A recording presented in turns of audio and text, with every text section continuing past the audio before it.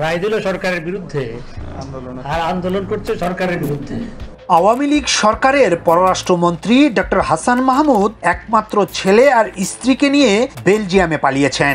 বর্তমানে তারা দেশটির লিমবুর্গ প্রদেশের হ্যাসেল্ট সিটিতে নিজের বাড়িতে অবস্থান করছেন। এমনকি সেখান থেকে ঢাকা, চট্টগ্রামে থাকা ঘনিষ্ঠজনদের সঙ্গে মোবাইল ফোনে কথাও বলছেন হাসান মাহমুদ। এত কড়াকড়ির পরও কীভাবে তিনি দেশ ছেড়ে বেলজিয়ামে পালিয়ে গেলেন, তা নিয়ে এখন চলছে ব্যাপক আলোচনা সমালোচনা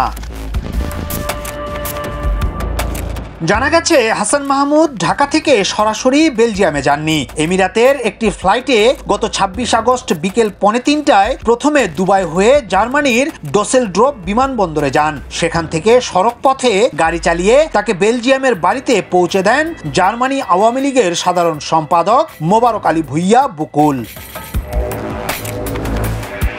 এ বিষয়ে মোবারক আলী ভুইয়া বকুল জানান, তিনি এখন বেলজিয়ামের বাড়িতেই আছেন সেব আছেন। বেলজিয়ামে অনুষ্ঠিত কোনো মিটিংয়েই তিনি আপাতত যোগ দেবেন না। এছাড়াও কারোর সঙ্গে যোগাযোগও করছেন না।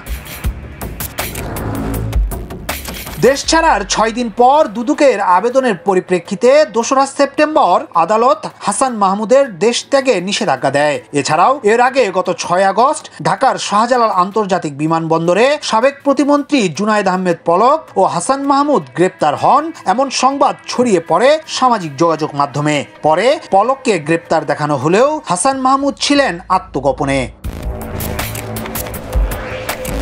আওয়ামী লীগ সরকারের গত পনেরো বছরের শাসনামলে গুরুত্বপূর্ণ ও আলোচিত এক নাম ডক্টর হাসান মাহমুদ। তিনি সবশেষ দলটির যুগ্ম সাধারণ সম্পাদকের পাশাপাশি হাসিনা সরকারের প্রভাবশালী মন্ত্রী ছিলেন। বিভিন্ন মন্ত্রণালয়ে প্রভাব খাটিয়ে দখল, বেদখল, অনিয়ম দুর্নীতির মাধ্যমে শত শত কোটি টাকা হাতিয়ে নেওয়ার অভিযোগ আছে তার বিরুদ্ধে।